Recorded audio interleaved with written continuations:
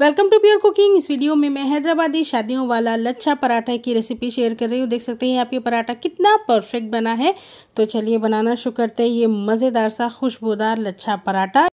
तो इस वीडियो में मैंने काफ़ी सारे टिप्स शेयर किए हैं जिससे आप भी परफेक्ट लच्छा पराठा बना पाएँगे। तो चलिए बनाना शुरू करते हैं। ये मज़ेदार सा टेस्टी लच्छा पराठा जो आप किसी भी ग्रेवी के साथ में सर्व कर सकते हैं। तो लच्छा पराठा बनाने के लिए मैंने यहाँ पे लिया है दो कप मैदा। आप चाहें तो आटे से भी बना सकते हैं, लेकिन ट्रेडिशनली लच्छा पराठा मैदे से बनाया जाता है तो इसलिए मैं भी मैदा ही यूज़ कर रही हूँ। इसमें ऐड करेंगे थोड़ा सा नमक।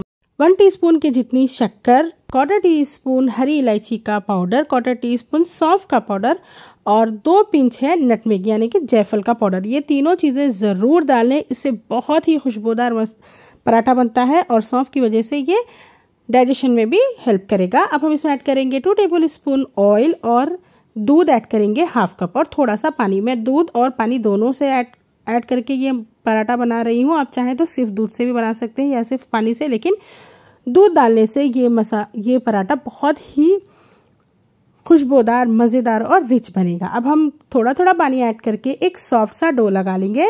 थोड़ा सा ऑयल लास्ट में मैं फिर से ऐड कर रही हूँ और इसको अच्छे से गूंद लेंगे। जैसे मैंने कहा, ये पराठा है तो पराठे का डो जो होता है, वो सॉफ्ट होता है। तो जैसे आप रोटी बनाते हैं, उससे हल्का सा लाइट इसको आप लूज नीड करें आटे को और ये जैसे ही इकट्ठा हो जाएगा, हम इसको इस तरह से गोल कर देंगे और रेस्ट करने के लिए रख देंगे एक बीस से पच्चीस मिनट के लिए। तो अच्छे से अब मैंने आटे को गून लिया है, इसको इस तरह से टक करेंगे और एक गोल शेप देके इसे हम रेस्ट करने के लिए रख देंगे एक आधे घंटे के लिए। तो ढक दीजिए ताकि ऊपर से इसको, इसकी जो लेयर है वो क्रिस्पी ना हो। अब ये देखिए, आधे घंटे के बाद में हम इसको फिर से नीड करेंगे। अच्छे से हाथों की मदद से इसको आप गूंदते जाइए आटे को। इतना गूंदना है कि ये बिल्कुल सॉफ्ट सिल्की सा डो रेडी हो जाए। इस तरह से ये देखिए।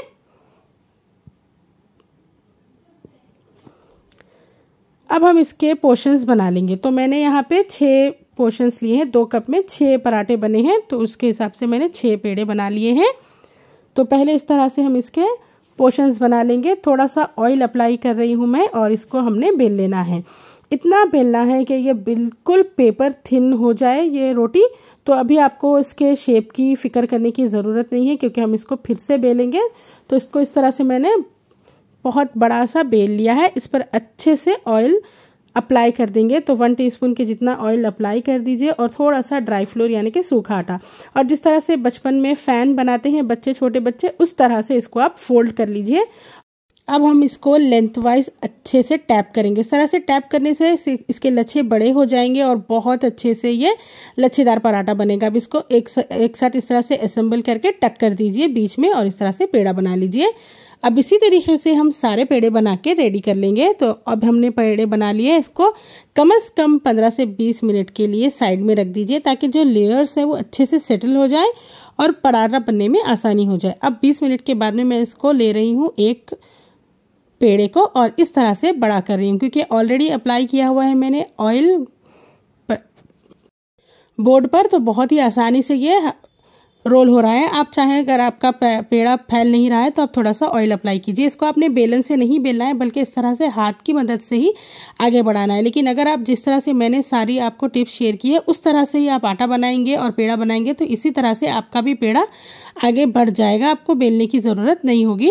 देखिए, थोड़ी सी ऑयल की ज़रूरत पड़ रही थी तो मैंने ऑयल लगा दिया और इस तरह से इसको बढ़ा देंगे। इसी तरह से सारे आपने पराठे बना लेने हैं और पराठे जो होते हैं वो हल्के से थिक होते हैं। और ये पराठे मैं बना रही हूँ मेरे नए अगारों के नॉनस्टिक पैन पे ताकि ये छिपके नहीं। ये नॉनस्टिक तवा है, बहुत ही अच्छी क्वालिटी का। तो ये देखिए, मैंने अच्छे से इसको गर्म कर लिया था तवे को। अब हम इस पर पराठा सेकेंगे। पराठा जो होता है वो बहुत ही धीमी आँच पे, धीमी लो फ्लेम पे इसको बहुत ही देर तक आपने सेकना होता है, क्योंकि इसमें बहुत सारी लेयर्स होती हैं। तो इसको हमने जल्दी जल्दी नहीं करना है, बल्कि आराम आराम से इसको आपने सेकते जाना है। एक साइड डालने के 20 से 25 सेकेंड के बाद में हम इसको फ्लिप करेंगे और दूसरी साइड हमने बहुत ही अच्छे से इसको पका लेना है पराठे को। कम अज़ कम एक पराठा पकने के लिए आपको सात से दस मिनट लग जाएँगे क्योंकि ये टाइम लगता है क्योंकि अंदर तक लेयर पकनी है और जैसे ही ये अच्छे से गोल्डन हो जाए, इस पर ऑयल अप्लाई करेंगे और दूसरी साइड इसको बहुत अच्छे से सेक लेंगे। और जैसे ही इसकी एक साइड अच्छे से गोल्डन हो गई है, मैंने फिर से इस पर ऑयल अप्लाई किया है और दूसरी साइड भी सेक लिया है। ये देखिए तो बहुत ही क्रिस्पी और मज़ेदार पराठा बन तैयार होता है। तो अब मैं सारे पराठे इसी तरह से सेक लूँगी। ये देखिए मैं आपको नज़दीक से भी बताती हूँ कि कितने अच्छी तरीके से ये पराठा सीख कर रेडी हो गया है।